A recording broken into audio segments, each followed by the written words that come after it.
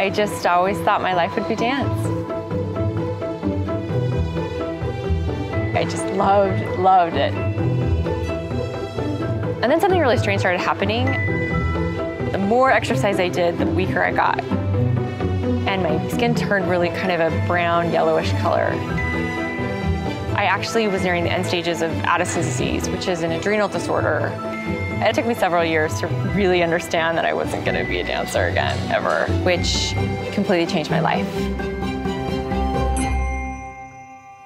Before I got sick, I remember defining myself by different things I did. And I remember realizing that God saw me as someone that was worthwhile as a soul, not worthwhile because I had accomplished this or done this or not done this. And then I remember I realized that I was still me and I was still of value, even though I couldn't really accomplish much at all for several years.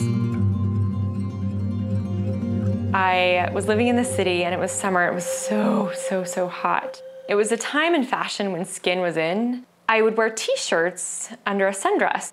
And I was dating a guy and he decided he was gonna break up with me. And what he said when he broke up, he just said, anyone that would wear a t-shirt under the sundress just doesn't see the world like I see the world.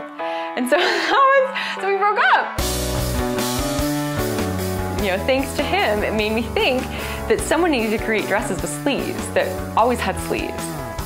So I actually bought a book on the internet called Fashion Design for Dummies and I decided I was to do this. We try to create clothing that looks good on women of lots of different sizes and shapes. And I think one of the biggest mistakes that we women can make is think that we have to be beautiful in only one way. So I run about 80% of my business from the phone.